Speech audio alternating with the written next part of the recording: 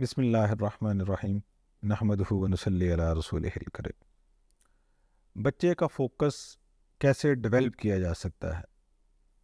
उसके लिए आपने चार पॉइंट्स का ख्याल रखना है।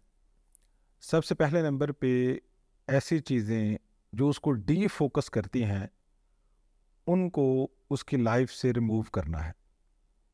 फॉर एग्ज़ाम्पल डी फोकस करने में जो सबसे पहली चीज़ है वो मोबाइल का गलत इस्तेमाल है। यानी मोबाइल का इस्तेमाल की बात नहीं मैं कर रहा, मोबाइल के गलत इस्तेमाल की बात कर रहा हूँ। गलत इस्तेमाल क्या है? कि आप मोबाइल को विदाउट एनी पर्पज़ जब यूज़ करते हैं तो आप उसको मिस यूज़ करते हैं। फॉर एग्ज़ाम्पल आपने फेसबुक खोला है या यूट्यूब खोला है तो आप ऐसे ही उसको स्क्रीन्स को आगे करते चले जा रहे हैं, ऊपर करते चले जा रहे हैं, नीचे करते चले जा रहे हैं। तो एक्चुअली ये आप अपने माइंड के अंदर एक पैटर्न सेव कर रहे हैं कि किसी भी चीज़ के ऊपर टिकना नहीं है। यानी किसी भी चीज़ के ऊपर फोकस नहीं करना। यानी बार बार डी फोकस करने की आप प्रैक्टिस कर रहे हैं। जब मोबाइल के ऊपर आप बार बार फ्लिप करते हैं और इससे आपके जहन में एक बीमारी बनती है, जिसको डी फोकस होना कहते हैं, या फ्लिप सेंड्रम भी उसको बोलते हैं। यानी आप अपने आप को प्रैक्टिस करा रहे हैं कि बा, मैं, कि एक फैसले पे मैं स्टे नहीं करूँगा। मैं बार बार अपना डिसीज़न चेंज करूँगा। कभी मैं ये स्क्रीन देखूँगा, कभी मैं ये स्क्रीन देखूँगा, कभी मैं उस तरफ़ जाऊँगा, कभी मैं ये खोल लूँगा। तो इट मीन्स आप प्रैक्टिस ये कर रहे हैं कि आप किसी एक चीज़ पे तवज्जो मरकूज़ नहीं करेंगे। तो ये मिसयूज़ है। इस चीज़ को या इस तरह की एक्टिविटीज़ को आपने बच्चे की लाइफ से रिमूव करने की कोशिश करनी है। दूसरे नंबर पे कि बच्चे की तवज्जो डेवलप करने के लिए उसको एक वजह की ज़रूरत होती है। यानी तवज्जा से ते हटा दें तो बाकी वजह रह जाती है तो वजह की ज़रूरत होती है। वजह मीन कि उसको एक पर्पज़ की ज़रूरत होती है। तो पर्पज़ आपने स्टार्ट से ही जब बच्चा पहली जमात में है, दूसरी में है, तीसरी में है, जिस लेवल पे भी है आपने उसको एक पर्पज़ देना है। पर्पज़ कैसे देंगे? आप उसके इंटरेस्ट फाइंड करेंगे। उससे डिस्कशन करने के साथ, उसके साथ ब्रेन करने के साथ आप उसके इंटरेस्ट फाइंड आउट करेंगे। और उस इंटरेस्ट के रेलिवेंट आप उसको एक मकसद देंगे। फॉर एग्ज़ाम्पल एक बच्चा है, उसका गाड़ियों के अंदर बड़ा इंटरेस्ट है तो आप उसको ये मकसद दे दें कि ठीक है बेटा, तुमने बड़ा हो के गाड़ियों का बिज़नेस करना है। तो उसके लिए ये ये इन्फॉर्मेशन तुम्हें चाहिए तो इसको तुमने नेट से कलेक्ट करो गूगल से कलेक्ट कलेक्ट करो, अपने मोबाइल से इस तरह की इन्फॉर्मेशन कलेक्ट करो, जो तुम्हारे मकसद में तुम्हारे काम आ गई फ्यूचर में फॉर एग्जांपल वो बिजनेसमैन बनना चाहता था। तो वो बच्चा, बच्चे की तवज्जो एक तरफ़ मरकूज हो जाएगी, उसको एक वजह मिल जाएगी। अब वो क्या करेगा? जब मोबाइल का इस्तेमाल करेगा तो अपने पर्पज़ के लिए करेगा।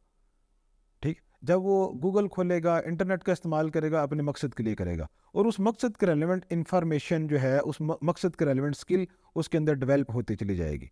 तो दूसरे नंबर पे आप ये कर सकते हैं, कि उसको एक मकसद दें। मकसद से वो बच्चा डी फोकस होने से बचेगा। तीसरे नंबर पे ये चीज़ है कि आपने बच्चे को डेली अकाउंटेबिलिटी की आदत डालनी है। कि वो एक वक्त में बैठ के 24 फोर आवर में से 15 मिनट के लिए बैठ जाए, उसमें वो अपना मुहासबा करे, अपनी अकाउंटेबिलिटी करे कि लास्ट 24 फोर आवर में से कितने आवर्स मैंने फोकस्ड गुजारे हैं और कितने आर्स मैंने डी फोकस्ड गुजारे हैं। और जो डी फोकस्ड आर मैंने गुजारे हैं, वो इन इन वजूहत की वजह से मैं डी फोकस रहा हूँ। और जब डेली वो मुहासबा करेगा डेली अपनी अकाउंटेबिलिटी करेगा तो वो आहिस्ता आहिस्ता ऑटोमेटिकली जो डी फोकस्ड करने वाली चीज़ें हैं, उनको अपनी लाइफ से रिमूव करता चला जाएगा। और लास्ट पॉइंट फोर्थ कि आपने खुद भी और बच्चे को भी फोकस्ड रहने की प्रैक्टिस करवानी है। जिस तरह अल्लाह ताला हमें नमाज़ के ज़रिए दीन के ऊपर अपने ईमान के ऊपर फोकस रहने की प्रैक्टिस करवाते हैं। कि पाँच वक्त हम नमाज़ खुशू खुशू के साथ पढ़ते हैं ये फोकस रह, ये फोकस्ड रहने की प्रैक्टिस है। सेम इसी तरीके से आप अपने बच्चे को फोकस्ड रहने की प्रैक्टिस कराएँ। अच्छा वो कैसे आप सिंपल एक तो नमाज़ के ज़रिए करा सकते हैं दूसरे नंबर पे जब इवन बच्चा खाना खाने लगे तो उस वक़्त इस चीज़ को आप एनालाइज करें कि जब हम खाना खा रहे हैं या बच्चा खाना खा रहा है, उसके हाथ, उसका मुँह, ये तो खाना खाने में लगे हुए हैं, क्या उसकी आँखें भी खाने के ऊपर मरकूज हैं? क्या उसके ख्यालात और उसकी सोचें भी खाने के ऊपर ही मरकूज़ हैं? क्या वो हर एक लुकमे को, हर एक नवाले को इंजॉय कर रहा है या नहीं कर रहा? या ऐसे तो नहीं हो रहा कि हाथ उसके खाना खा रहे हैं मुँह उसका खाना चबा रहा है, आँखें उसकी किसी और काम में लगी हुई हैं, ख्यालात उसके किसी और डायरेक्शन में चल रहे हैं तो ये भी एक डी फोकस होने की प्रैक्टिस है। यानी आपने अपना खाना खाने को भी मोनिटर करना है। जब आप मुहासबा करने बैठेंगे अकाउंटेबिलिटी करने बैठेंगे तो आप इस चीज़ को एनालाइज करेंगे कि मैंने कितनी देर कितने खाने मैंने फोकस्ड खाए हैं और कितने खाने मैंने डी फोकस्ड खाए हैं। फॉर एग्ज़ाम्पल दूसरी प्रैक्टिस जब आप अपने बच्चों से बात कर रहे हैं या बच्चा आपसे बात कर रहा है तो उस वक्त देखें कि क्या वो बच्चा मुकम्मल अपने सारे सेंसेस के साथ, अपनी पूरी तवज्जो के साथ आप बात कर रहे हैं, आपसे बात कर रहे हैं, या आप अपनी पूरी सेंसेस के साथ उससे बात कर रहे हैं? यानी आपकी ज़ुबान भी उसकी तरफ़ मतवजह है, आपकी आँखें भी उसकी तरफ़ मतवजह हैं, आपकी बॉडी की पूरी तवज्जो उसको हासिल है और आपके ख्याल भी उस तरफ़ है। यानी ये सारी चीज़ें जब एक डायरेक्शन के ऊपर होंगी तो फिर आप फोकस्ड काम करेंगे। और ये चीज़ें आपने बच्चे के अंदर भी डेवलप करनी है। अब इन चार पॉइंट्स को अगर आप डेली बेस पे रिवाइज करते रहेंगे तो और आपका बच्चे को इसकी प्रैक्टिस करवाते रहेंगे तो इन ताला वो बच्चा आपका जो काम भी करेगा, वो फोकस्ड होकर करेगा और वो कीन होकर करेगा। मैं एंड पे एक छोटी सी स्टोरी आपको सुनाता हूँ। एक बादशाह था, उसके दो बेटे थे। तो उसने कहा कि मैंने इनमें से एक को बादशाह चुनना है, अपने बाद तो किसको चुनना चाहिए? तो वज़ीर उसका बहुत अक्लमंद था तो उसने कहा था कि ठीक है जी हम एक ना एक्टिविटी करते हैं, इससे पता चलेगा कि किस को हमें बादशाह चुनना चाहिए।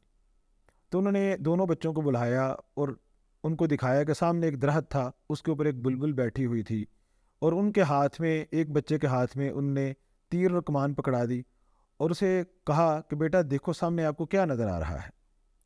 अब वो बेटा कहने लगा कि मुझे सामने दरख्त नज़र आ रहा है। अच्छा गौर से देखो और क्या नज़र आ रहा है। वहाँ एक बुलबुल बैठी है।